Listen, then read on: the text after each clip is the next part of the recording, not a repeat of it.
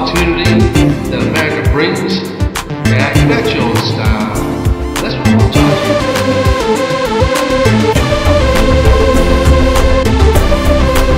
You see that little ball is slowing down, but your dreams are speeding up. The economic map is going fast, and let's face it, you ain't keeping up. Obama's got a spending habit. He's a generational spending jackrabbit. Now what you be selling at, and for this no doubt, you're the new American slave. That's what this is all about. That's what this is all about.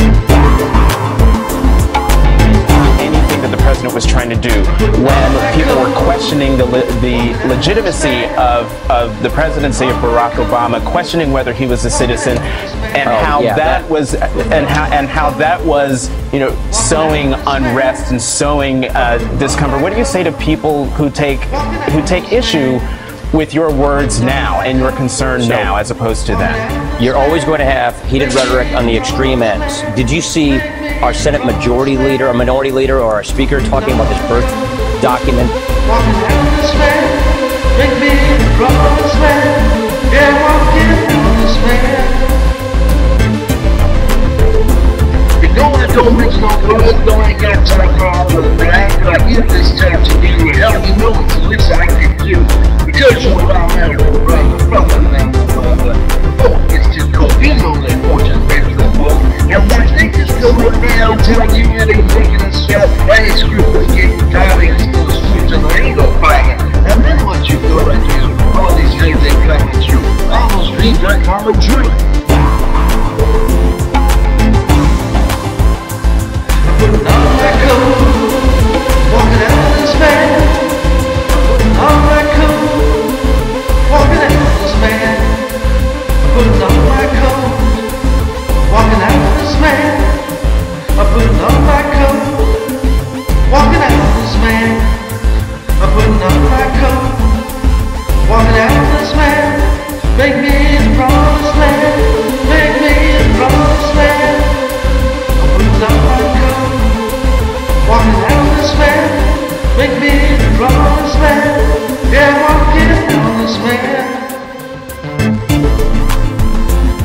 Need to walk out on this man who's putting the curse on this promised land.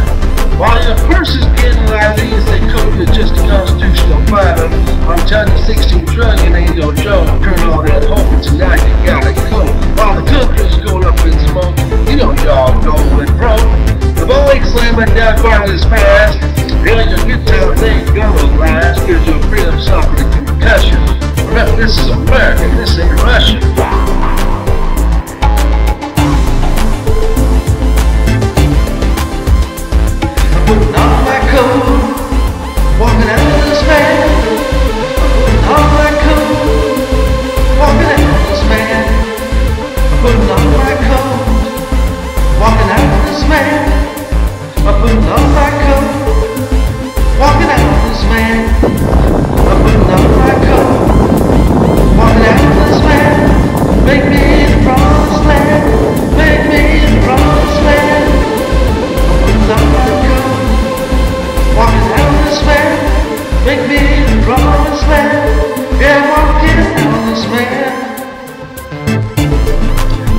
To be no rocket rapper, hell, I'm a politician. I got dreams just like you, I'm calling to your recognition.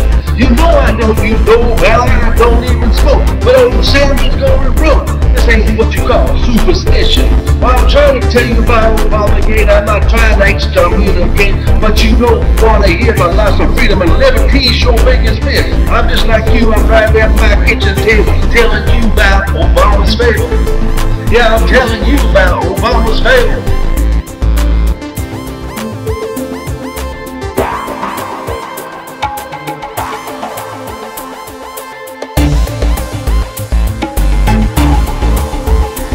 I'm putting on my coat,